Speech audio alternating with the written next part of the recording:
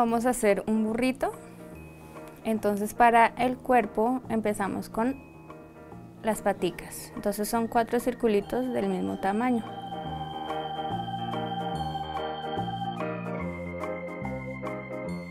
Listo, aplanamos un poquito. Para el cuerpo hacemos otro circulito más grande.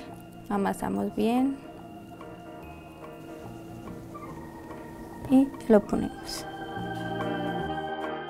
Vamos a ponerle un palillito para la cabeza. Hacemos otro circulito y en la parte de arriba aplanamos un poquito para la cabecita y lo ponemos en el palillo. Vamos a hacer otro circulito, aplanamos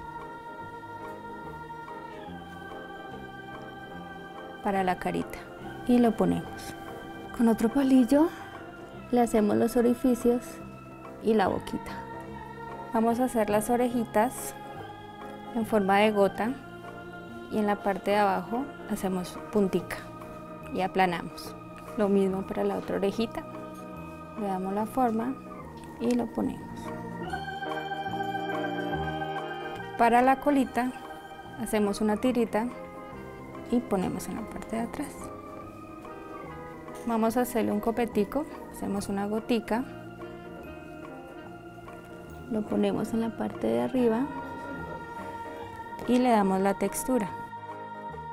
Para los ojitos, cogemos un poquito de blanco, hacemos dos circulitos y lo pegamos.